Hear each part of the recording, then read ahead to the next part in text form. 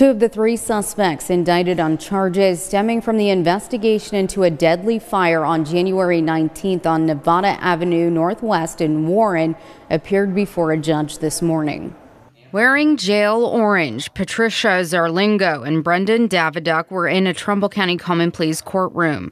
The pair, along with Zackary Gurd, were each indicted on charges of aggravated murder with aggravating circumstances specifications, attempted aggravated murder, aggravated arson, aggravated burglary, and tampering with evidence. All three uh, of these defendants face the potential of the death penalty.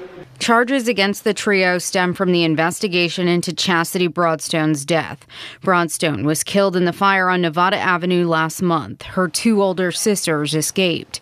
In court Friday, Zarlingo pleaded not guilty to the charges. She continues to be held without bond and is due back in court on March 1st, while Daviduk's attorney asked the court to move his arraignment to Monday. Uh, the purpose of which is to uh, ascertain representation of capital counsel under Superintendence Rule 20. Meanwhile, Gurd remains in a Virginia jail awaiting extradition back to Trumbull County.